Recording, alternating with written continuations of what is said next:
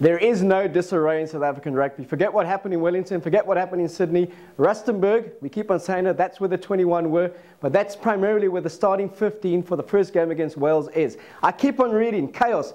Peter de Villiers doesn't know who his number 10 is. It is Butch James. He told him that when he came back from Bath.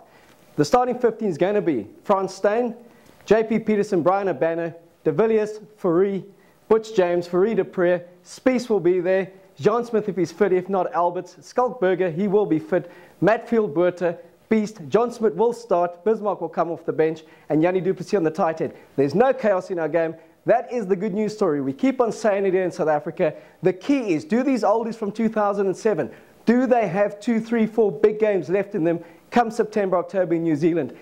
Do they have enough time to go and play Wales. They have to play in the home leg against Australia and New Zealand. But to say that there's chaos in Springbok rugby, it's a lot of crap. Peter de Villiers, whether you like him, hate him, love him, want to cuddle him, he does have a plan. His plan is investing in those guys who won the World Cup in 2007. He's told them they're going to start the game against Wales. They haven't been involved in the away test. Don't keep on telling me there's chaos in South African rugby. Those boys were in Rustenburg. They've been training very hard. They have a plan. The key is can these old guys' bodies cash the checks that their minds want to write?